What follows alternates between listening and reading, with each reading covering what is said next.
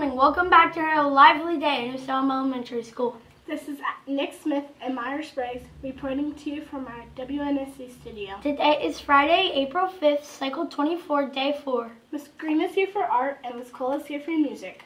Today's regular choice is Mickey's Pizza with a tossed salad, butter, butter peas, and carrots. The alternate is, is a yogurt lunchable or a peanut butter and jelly sandwich. Happy birthday wishes go out to Cameron Garrison, Chase Hutzer, and Megan uh, over the weekend.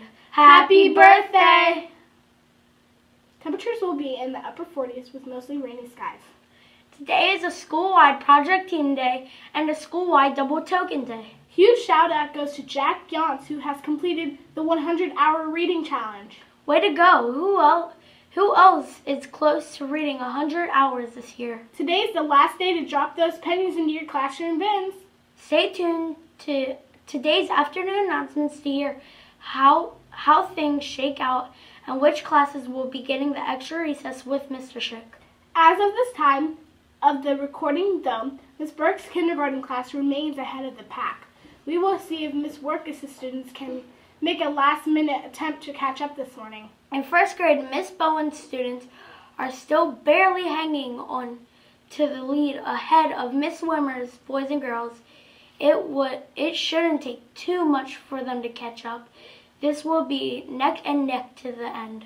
In second grade, Miss Luckenball took the lead on Wednesday and now has a commanding lead over Miss Miller's friends. I can imagine anybody catching up to her class at this point.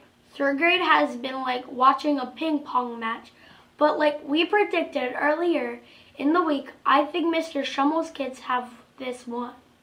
There is no point in anybody else bringing in any pennies. Finally, fourth grade is tight. Mr. Schneider's friends have stepped up with nearly caught by Miss Sauls and Miss Slate.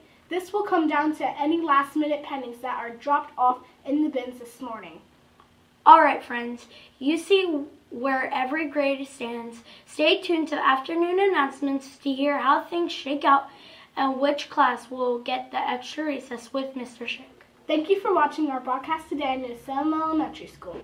We're in the house. Are you in the house? Please rise for a moment of silence, followed by the playing of our national anthem and the pledge to the flag.